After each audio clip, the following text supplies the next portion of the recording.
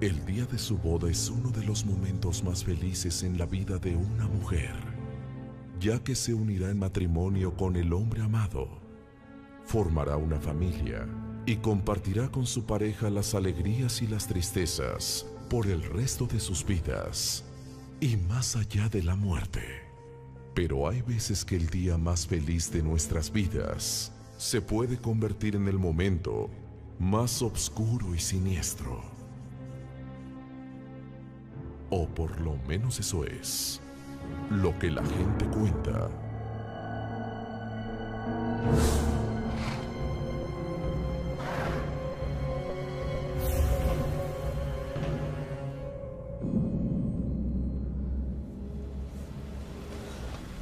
Paula, Paula, hija. Desde niña no soñaba con ella. ¿Con quién? Con esa mujer, con... Con nadie, mamá, olvídalo. Hace mucho que no veníamos a la hacienda. Sí, vas a ver qué bonita va a quedar la fiesta mexicana con todos los adornos que compramos. Una boda digna de una princesa. ¿Verdad, hija? Sí, mamá. Oye, ¿cuándo llega Carlos? En la noche. Tenía que estar todavía en la ciudad para... para unos últimos detalles de la boda. Hacen una bonita pareja. Carlos es un muchacho muy serio y de muy buena familia, ¿eh?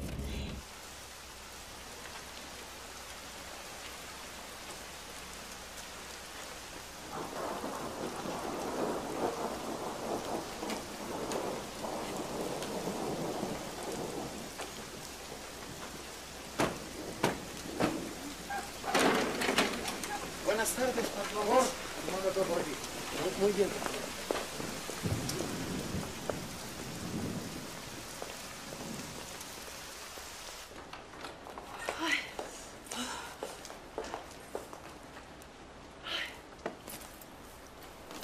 Hola. Pero niña Paula, Desde chiquita que no la veíamos. Bienvenidos. Pero mira qué hermosa se puso, fresca como una rosa en primavera. Ay, muchas gracias. En cambio, ustedes dos están igualitos. El tiempo no pasa por ustedes. ¿Y cómo anda todo por aquí, Nabor? Muy bien, patrón. Ya todo está listo para la boda de la niña Paula, como usted lo ordenó. ¿Seguros? Quiero ver que falte algo, ¿eh? Ay, además esta lluvia que no cesa. Wow. ¿Cuántos muebles? Seguramente algunos son de la época de mi bisabuelo.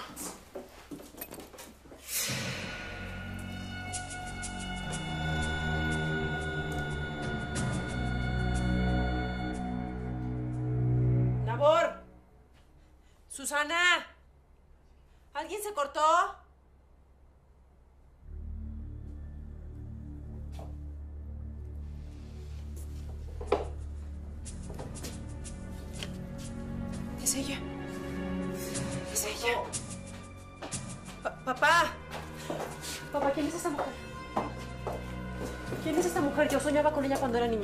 Creo que es Carlota, la hija de tu bisabuelo Emilio. ¿Te diste cuenta que somos iguales? Pues sí. Vinca, nunca la había notado. Papá es ella. La mujer por la que ella no quería volver a esta hacienda. Ella era la, la mujer de mis sueños, la que me atormentaba. Por ello ya, por ella ya no quería volver aquí. Yo creo que cuando la viste, te quedaste muy impresionada, impactada. Pero no te acuerdas, eres muy chiquita. ¿Cómo la encontraste? Por la sangre. Por toda la sangre que está en el pasillo. El pasillo había manchas de sangre por todo el pasillo, papá. Y la sangre me llevó a la foto. Papá, no te rías. Los nervios de la boda te hacen ver cosas que no son. No son nervios, papás. Te juro que vi manchas de sangre en el pasillo porque voy a También que inventar. te confundiste con las manchas del suelo. Hija, voy a checar con Nabor que todo esté en orden.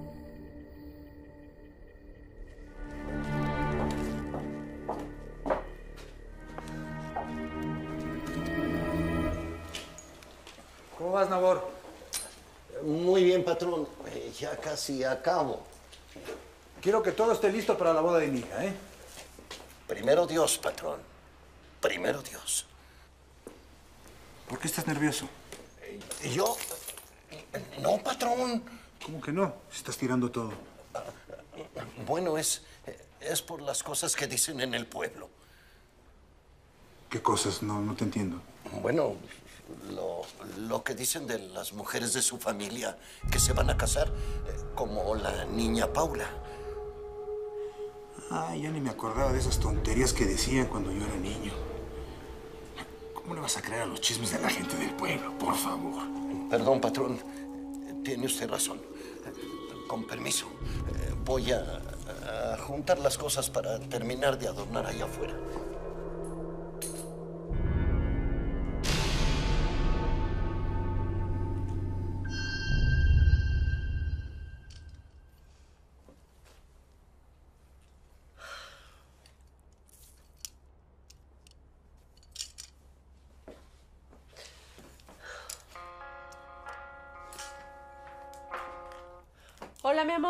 Flaca, te tengo malas noticias.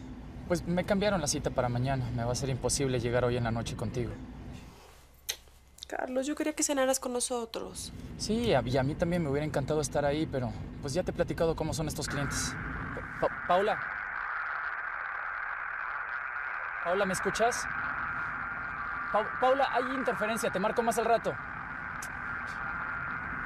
Qué raro. Si tengo señal. Ay, no, no. No, no. ¿Qué es esto? ¿Qué es esto? Ay, no puede ser. ¡Mamá! ¡Mamá! A ver, a ver, chiquita, ¿estás segura que no se te cayó nada, mi amor? Mamá, por supuesto que estoy segura. Ve. Cheque el vestido. Vamos a Y además, yo creo que no hay una sola tintorería en este pueblo. Oye, pues yo no veo nada, ¿Qué ¿eh? ¿Cómo que no ves nada, mamá? Ahí está en el medio una mancha de sangre. Dime dónde, porque no la veo. Aquí, mamá. Allá veo una mancha. Yo la vi, mamá. Te juro que yo vi una mancha de sangre aquí en el abdomen. Ay, mi amor, lo que pasa es que está nerviosa por los No, mamá, de la no boda. son nervios nada más. Yo la vi. Con mis propios ojos yo la vi. Bueno, vamos a hacer una cosa, ¿te parece? Eh, le voy a decir a Susana que te prepare un té de tila para que te calme los nervios, ¿sí? Ay, mi amor, lo que pasa es que de verdad está nerviosa por la boda, mi amor. Si hasta uno baja de peso, bueno, ¿qué no le pasa a uno cuando se va a casar?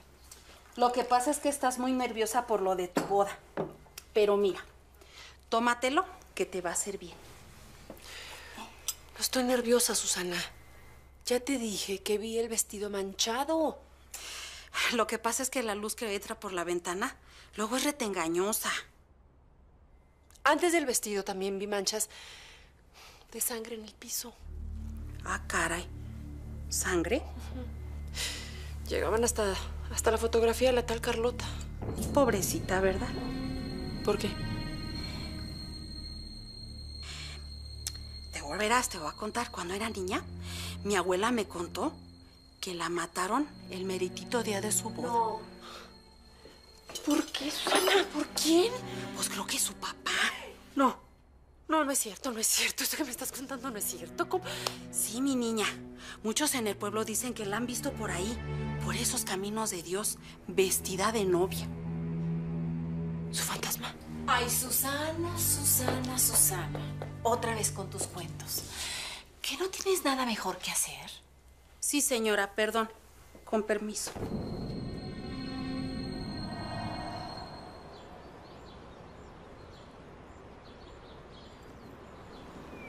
¡Hey! ¿Qué haces aquí solo? ¡Espérate! ¿Dó- ¿Dónde está tu dueño?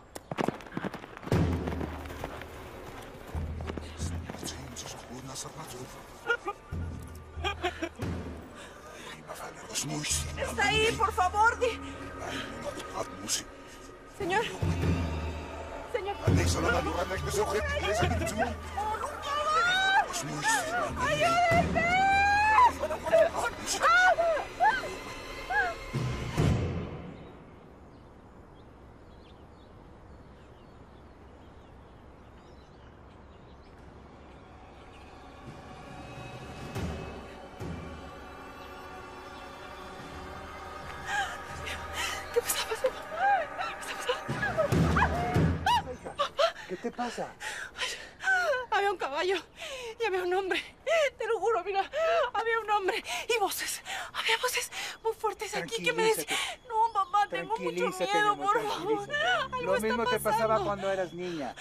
pasabas disque cosas.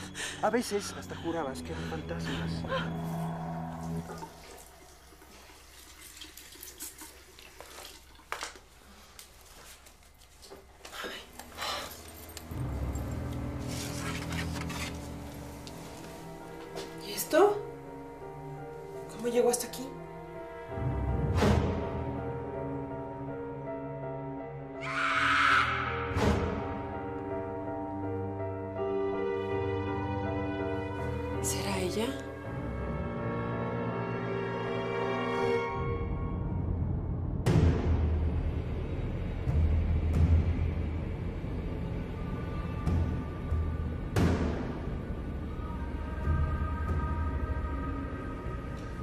Oiga, disculpe, ¿sabe para dónde queda el túnel?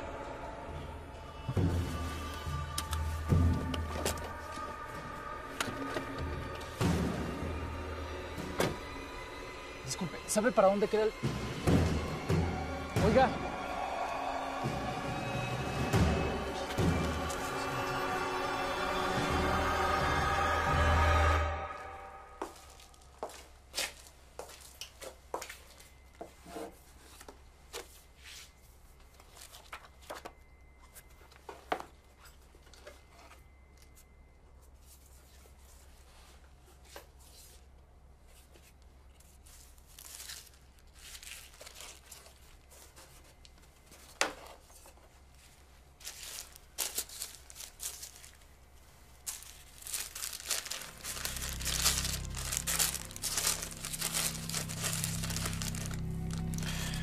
Mañana es el día que mi hija Carlota contraerá matrimonio. El día más feliz de su vida y el más infeliz de la mía. Traté de evitar la boda, pero no pude.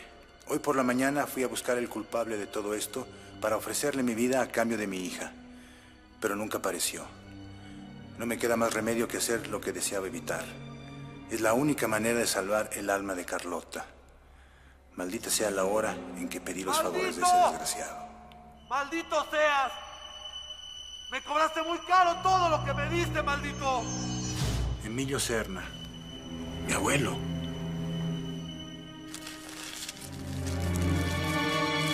También estoy pensando, hija, que me gustaría más que fueran azucenas en vez de dalias. Bueno, no sé qué te parezca a ti. Me parece que lo puedes elegir tú. Mm, Bueno. Ay, estaba muy interesante el librito ese que estaba leyendo. ¿El libro? Sí, sí. Quiero enseñarles esto que me encontré. Es Carlota, papá. ¿Sabes cómo me parezco a ella? ¿Y quién es Carlota? Es la hermana de mi papá. Murió cuando yo era muy niño. Oye, pues sí. Se parecen mucho, ¿eh? Bueno, es, es con ella con la que estaba soñando cuando veníamos para acá. Entonces tú ya habías visto esta foto. No, mamá, nunca había visto esa fotografía. Entonces no digas tonterías. ¿Cómo es posible que hayas soñado con ella si no la habías visto? Pues no lo sé, fíjate, pero resulta que con esa mujer yo, yo sueño y la he visto desde que era niña. Cada vez que veníamos aquí se me aparecía esa mujer. No sé. Por esas pesadillas no quisiste regresar a la hacienda, hija. Bueno, siempre ha sido una niña muy creativa, con mucha imaginación. Creatividad, imaginación, locura, lo que sea. El caso es que evidentemente ustedes no creen en nada de lo que yo les estoy diciendo. ¿Saben qué? Que cenen muy a gusto. Yo ya me voy a mi cuarto, se me quitó el hambre. ¡Paula!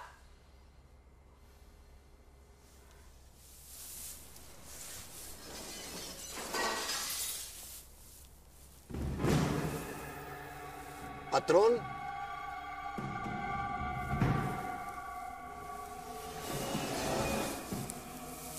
¿Es usted patrón?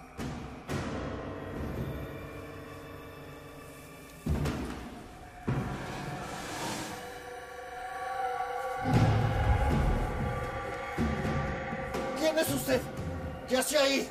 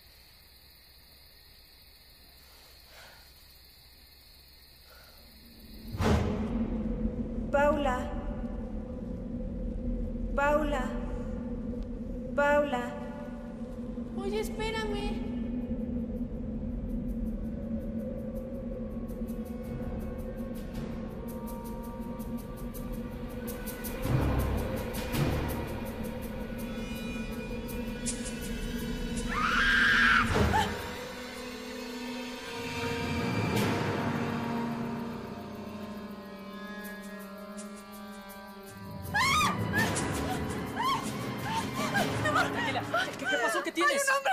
¡Hay un hombre ahí adentro! Ay, mi amor, debe ser ¡Hay una un pesadilla. hombre en el cuarto! ¡Lo acabo Dice de Paula ver! que hay un hombre allá adentro. No hay nadie. Me da una pesadilla, ¿eh?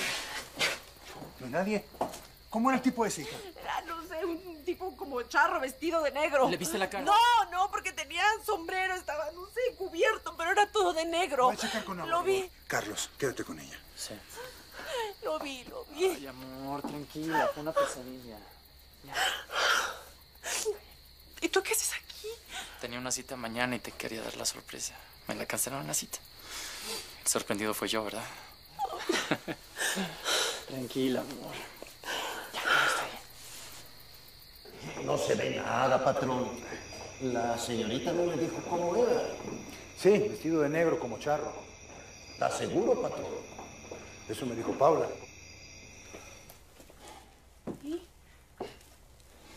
No había nadie. Carlos, te juro que había un hombre parado aquí adentro de mi cuarto junto a ese espejo.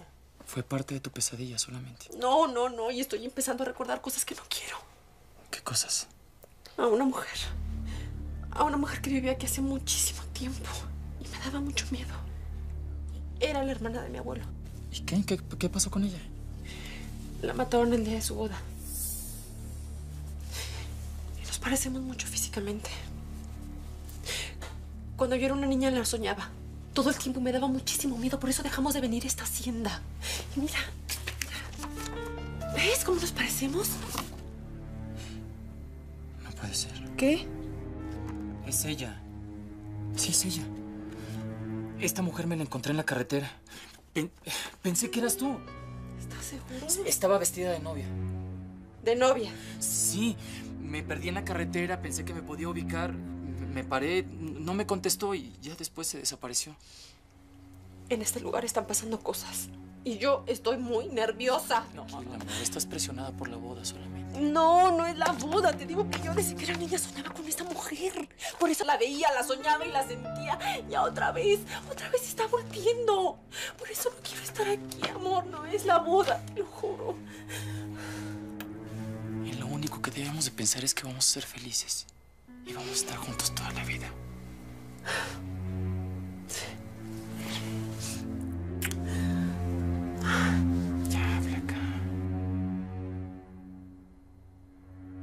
Durante mi juventud fui muy ambicioso. No me importaba nada con tal de hacerme de una fortuna. Desesperado por haber probado de todo para generar riquezas y haber fracasado, seguí el consejo que un amigo me dijo en tono burlón y que rondó por mi cabeza por un tiempo. Venderle mi alma al diablo.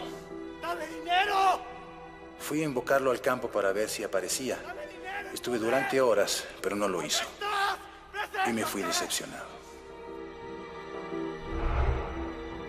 Unos días después, fui a emborracharme para olvidarme de mi mala suerte. Y cuando regresaba a mi casa, escuché el sonido de unas espuelas golpeando contra la tierra. El camino estaba desierto. No había nadie. Cuando volteé, él estaba detrás de mí. Traía unas espuelas de plata y no se le veía la cara porque se la tapaba el sombrero. Me dijo que oyó que lo andaba buscando y me preguntó qué quería. Le dije que dinero. Asintió.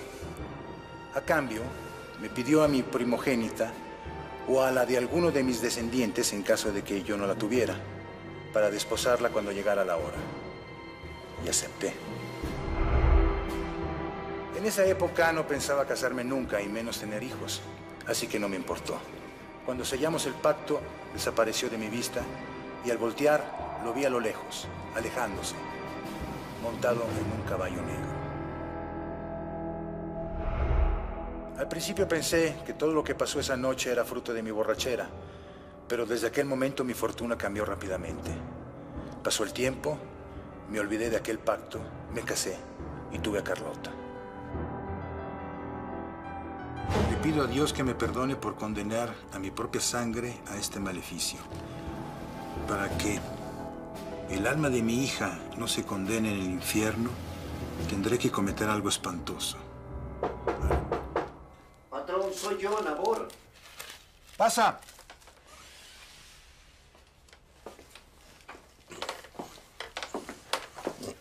Patrón, pues eh, disculpe que lo moleste, pero pues nada más venía a decirle que no encontré a nadie anoche.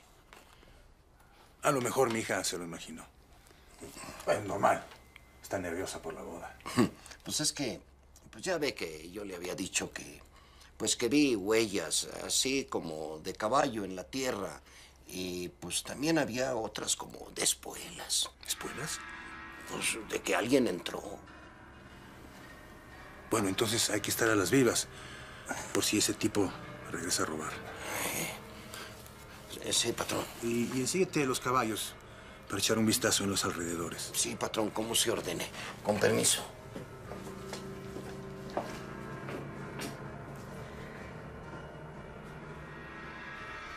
Ya no supo nada del hombre que se metió anoche? No, pero ya ves que ya no hay tranquilidad de ningún lado, hijo. Y en este lugar menos. En esta hacienda siempre han pasado cosas muy raras, mamá. ¿Qué quieres decir? Pues resulta que con la mujer que yo soñaba cuando era una niña es Carlota la de la fotografía. Pero qué tontería, por favor. Mamá, no es ninguna tontería, por favor. Además, he vuelto a soñar con ella. Desde que veníamos en la carretera hacia acá, la volví a ver. Carlos dice que también la vio, caminando en la carretera vestida de novia. Susana, ten más cuidado con los platos. Sí, señora, perdón. Ahorita lo recojo. Bueno, a ver, dime, ¿qué es eso de que la viste en la carretera si está muerta? No, no sé. Quizá yo me confundí, amor, eso es todo. Quizás tú te confundiste. Pues no sé, confundido o no, en este lugar pasan cosas raras que no me gustan. Estás loca. Acaben de desayunar y cuando termines te espero para que me ayudes a escoger las flores. ¿Quieres? Tantos años en la ciudad, patrón. No se le ha olvidado montar a caballo. Eso nunca se olvida, Nabor. Además, yo tuve un buen maestro, mi abuelo Emilio. Mm, recuerdo que cuando yo era niño, él también me enseñó a montar. Oye, tu abuelo también trabajó para mi familia, ¿verdad? Sí, patrón. ¿Y qué te contó de lo que pasó en la hacienda hace 50 años? Bueno, patrón, es que él era muy niño cuando todo eso pasó. ¿Y qué fue lo que pasó? Bueno, pues mi abuelo y la gente del pueblo decían que don Emilio, el abuelo de usted, enloqueció y que mató a su propia hija Carlota el día de su boda. Al ver lo que hizo, trató de suicidarse, mientras gritaba que la había matado para salvarla del diablo. Alguno de sus trabajadores entró y evitó que se quitara la vida. A don Emilio lo encerraron en un manicomio. Y ahí se la pasaba, repitiendo que el diablo quería llevarse a su hija para cobrarse un favor que le hizo. Y que estaba muy preocupado, porque lo mismo le pasaría a las primogénitas de sus descendientes. ¿Por qué le importaría lo que le pasara a sus descendientes? Pues quién sabe, patrón. Pero pues, no volvieron a nacer niñas en su familia hasta que tuvieron a la señorita Paula. ¿Tú crees en esas tonterías? ¿Tú crees que mi abuelo haya hecho un pacto con el diablo?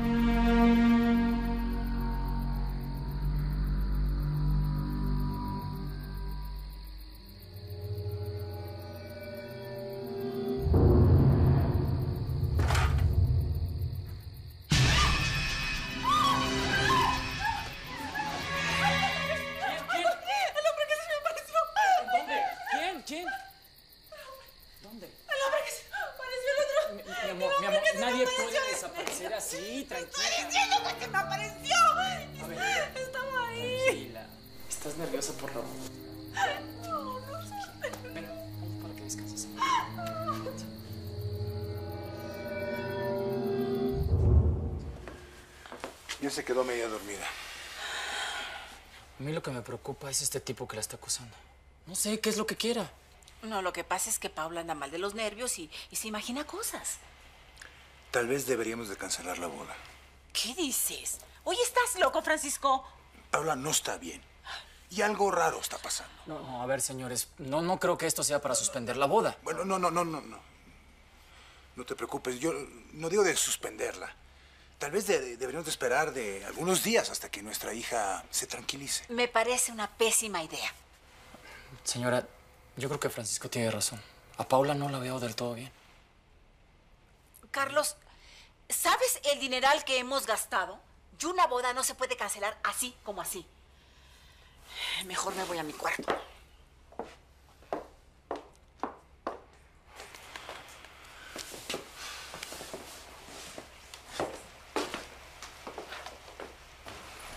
Disculpe, joven. ¿Puedo hablar con usted de algo muy importante? Sí, a ver, dígame.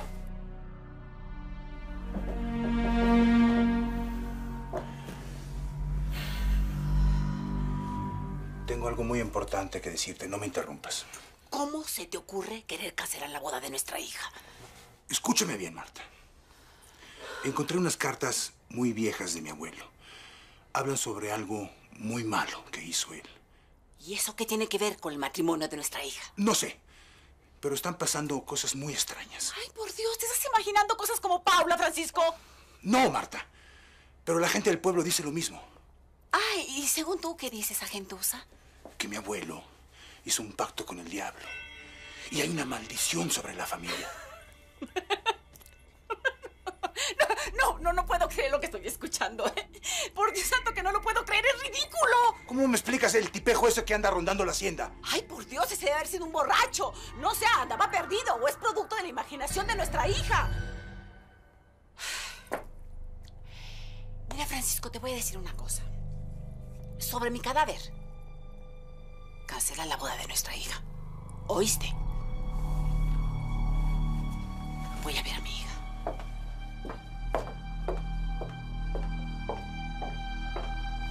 Usted va a creer que estoy loca, joven Carlos.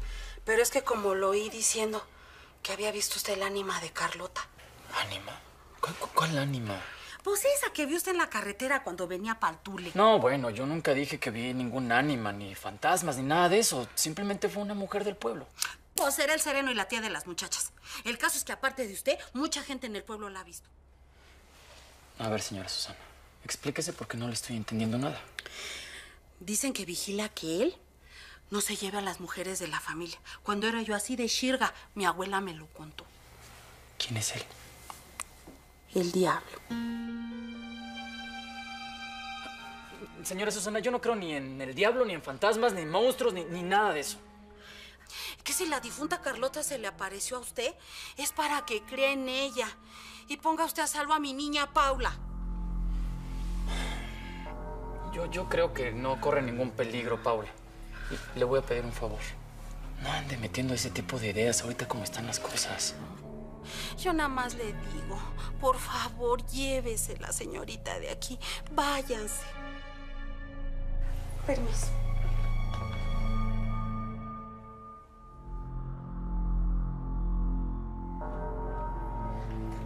Lo hago porque los quiero mucho, joven. Mucho.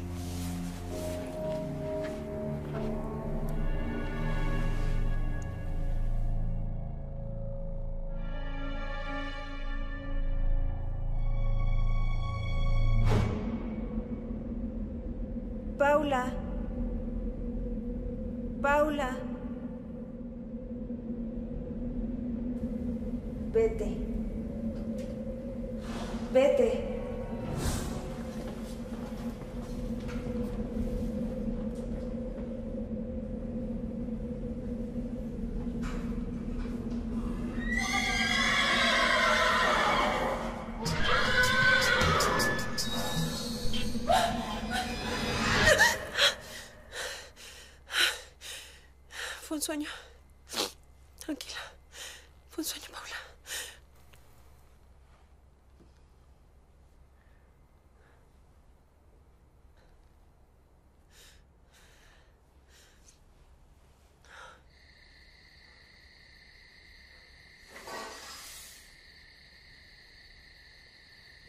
¿Quién anda ahí?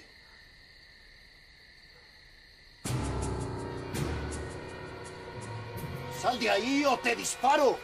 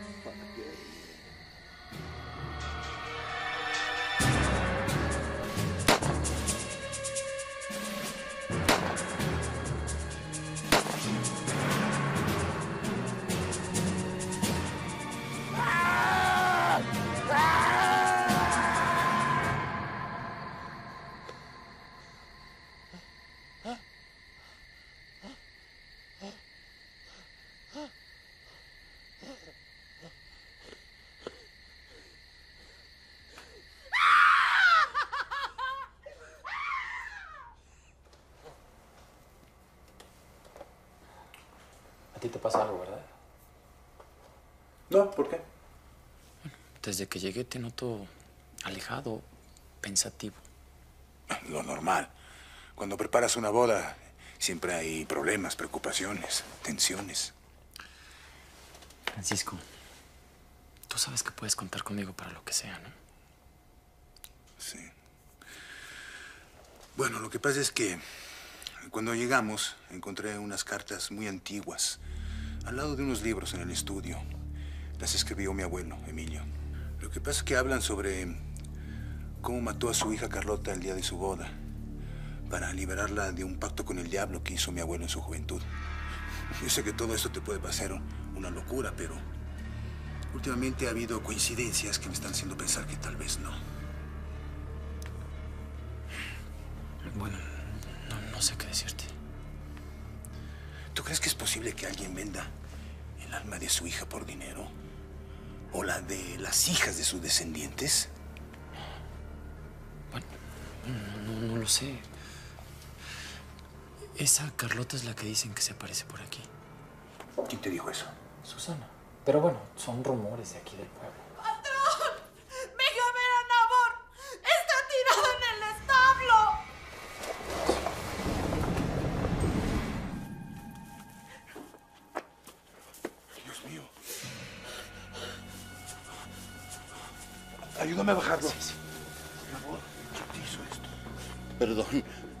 No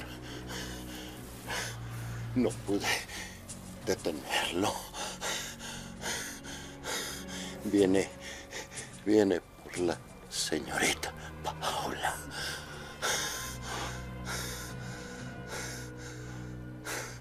¿Pero quién es ese tipo? ¿Por qué le quiere hacer daño a Paula?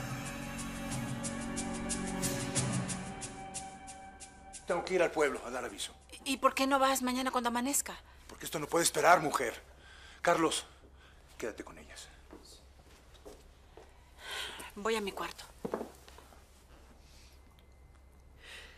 Antes de que atacaran a Nabor, yo tuve una pesadilla en donde Carlota me advertía que me fuera de aquí. Después, el jinete me atacaba. Y era exactamente igual al hombre que se me apareció en el cuarto. Eso es lo que me contó Susana sobre el fantasma de Carlota. Ay, Carlos, ya dime qué fue exactamente lo que te dijo. Yo se lo voy a decir. Es tiempo de que sepan la verdad. Para evitar más muertes.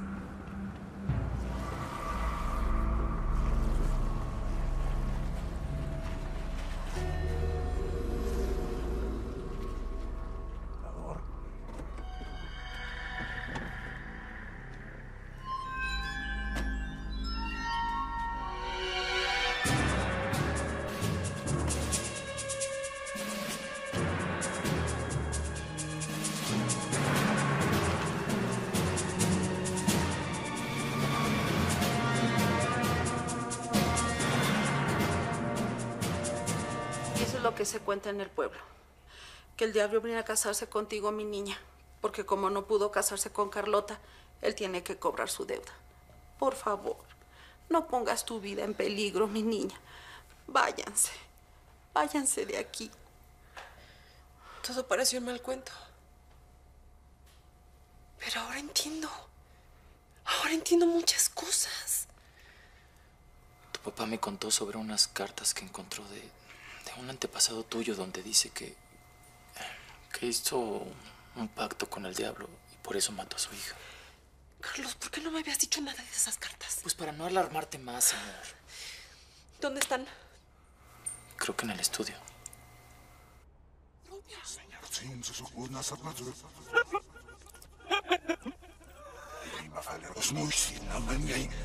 ¿Paula? Paula, hija, ¿eres tú la que está haciendo esos ruidos? Debe de estar por aquí.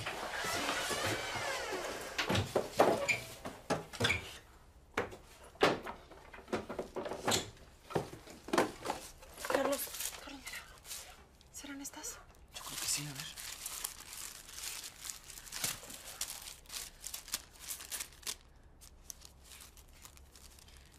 La curandera que vive en el despoblado me dijo que la única manera para salvar el alma de mi hija es matándola antes de que el demonio la despose.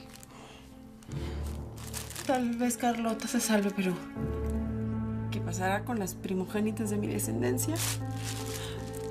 Dios la socorra. Es que ya, no me está gustando esto. Mejor vámonos de aquí, ¿no? Paula, ¿Qué es eso? ¿Qué fue eso? ¿Escuchaste? Sí, sí. Paula. No, vamos por mi mamá, por Susana, vámonos. de aquí, vámonos, por favor, vámonos. Francisco, ¿eres tú? Pa- ¿Paula?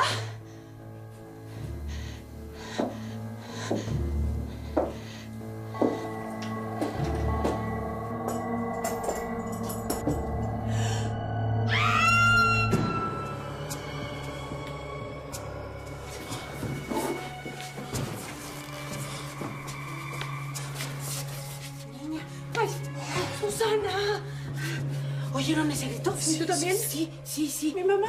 No, no sé. No sé. Sí, sí. Por aquí se escuchan los ruidos. no veo agárrate, agárrate de mí. Susana, ¿estás bien? Sí. Mamá.